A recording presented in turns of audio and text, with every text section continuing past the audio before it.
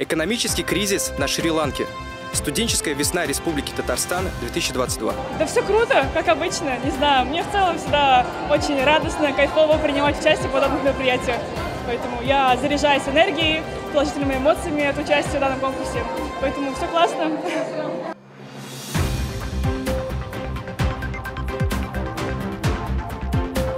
Всем привет! В эфире «Univer News», а в студии Амир Ахтямов. В общежитии номер 7 Казанского федерального университета завершился основной этап ремонтных работ, направленный на улучшение бытовых условий студентов в местах общего пользования.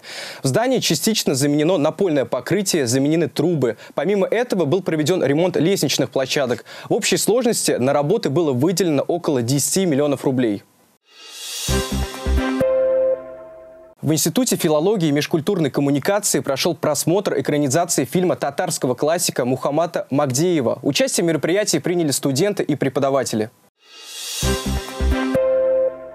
13 мая в Институте филологии и межкультурной коммуникации состоялся массовый просмотр экранизации повести Мухаммада Магдеева «Мы дети 41 года», в которой он отразил историю своей жизни. В первый раз в татарской литературе описывается э, сложные годы Великой Отечественной войны именно с позиции детей-подростков. Во многом книга «Мы дети 41 года» — это автобиографическое произведение о судьбе студентов Арского педагогического училища, чья юность выпала на тяжелые сороковые годы. Режиссером экранизации выступил Амир Галиаскаров. Картина вышла на экраны кинотеатра в конце 2021 года. А, описывая какие-то детали, то, на что обращают внимание вот эти дети, то есть, а, когда ребенок смотрит на мир, он же его воспринимает совсем не так, как мы тем более ребенок того времени. Вот описывая вот эти детали, автор добивается того, что ты полностью погружаешься не только в суть происходящего, но и в глубину чувств, которые переживают э, все герои.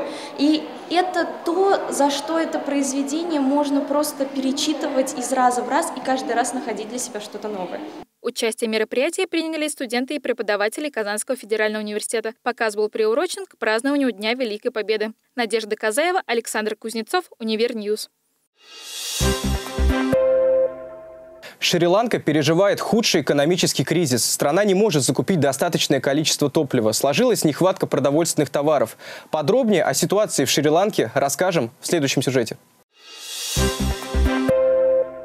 Острая нехватка продовольствия и предметов первой необходимости сложилась в Шри-Ланке в конце апреля. Жители стали выходить на улицы с требованием о ставке президента. Также во многих районах страны наблюдается отключение электроэнергии на долгий срок из-за нехватки топлива. На фоне экономического кризиса оппозиция потребовала от президента уйти в отставку. Понимаем, что последние два года весь мир находился в состоянии пандемии коронавируса. Поток э, туристов на Шри-Ланку остановился практически. Под влиянием вот этого фактора экономика пришла достаточно в сложное положение. Возникли также и политические проблемы. Масштабные столкновения в столице начались утром 9 мая.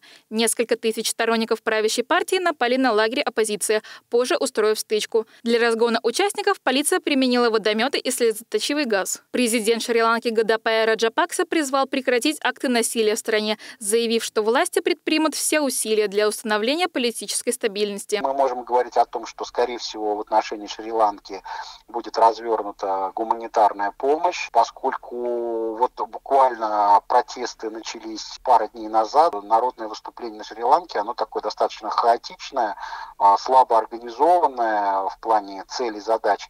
И куда, так сказать, оно приведет эту страну, пока достаточно сложно сказать. Как сообщает посольство России в Коломбо, обстановка в курортных районах острова спокойна. Ранее власти Шри-Ланки третий раз продлили на сутки действия комендантского часа на острове. Управление по развитию туризма страны просит иностранных граждан перемещаться по стране в комендантский час только с паспортами и авиабилетами. Надежда Казаева, Univer News. 12 мая в КСК КФУ «Уникс» состоялся гала-концерт 11-го Республиканского фестиваля студенческого творчества «Студенческая весна Республики Татарстан-2022». На нем собрались команды финалистов и призеров из учебных заведений со всей республики. Как это было, расскажем в следующем сюжете. Сегодня происходит в Униксе чудо. Это республиканская студенческая весна, именно гала-концерт. Сегодня мы увидим лучшие из лучших студенческие номера, таланты со всей республики. В этот вечер в холле КСК КФУ «Уникс», несмотря на пасмурную погоду, было по-настоящему жарко. Гала-концерт собрал самых талантливых и лучших студентов со всей республики. Кто-то фотографировался с дипломами, кто-то давал интервью, а кто-то был просто рад находиться на гала-концерте, а кто-то готовился к еще одному выступлению на фестивале. Каким номером в такой программы участвуете?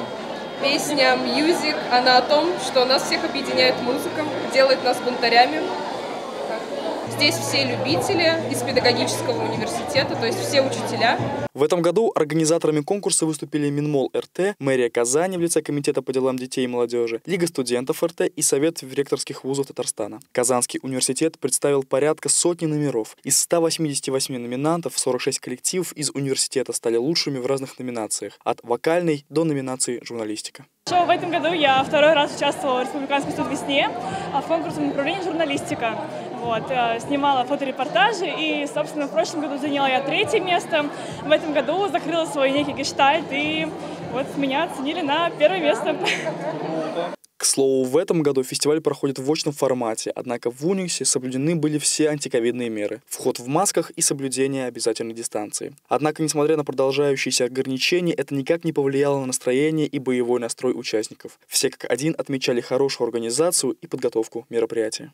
Да все круто, как обычно, не знаю. Мне в целом всегда очень радостно, кайфово принимать участие в подобных мероприятиях.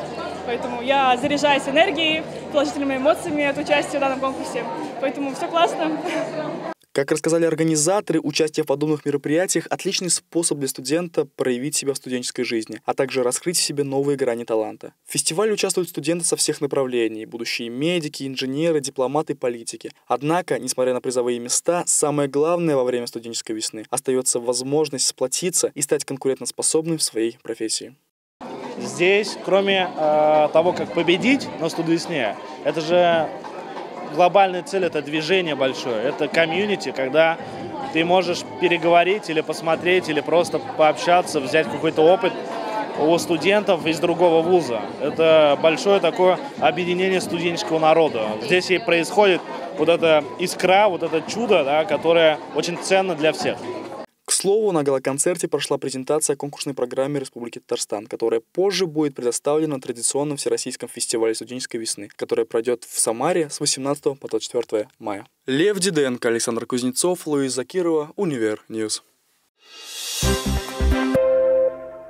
13 мая в 13.00 в мраморном зале Казанского федерального университета прошла выставка «Журналистские династии», организованная совместными усилиями кафедры национальных и глобальных медиа КФУ и акционерного общества «Татмедиа». Что было представлено на выставке и с какой целью она прошла, узнаете в следующем сюжете.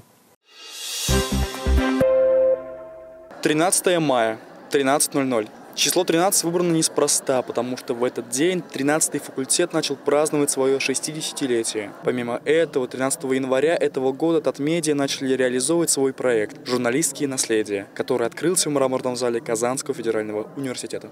В рамках медиа-недели, которую мы проводим, э, с благодарностью приняли предложение Татмедиа вот э, эту выставку внести в стены родной альма-матер для того, чтобы и студенты журфака, и вообще студенты университета увидели, что есть э, профессия журналист и какие династии складываются в этой профессии.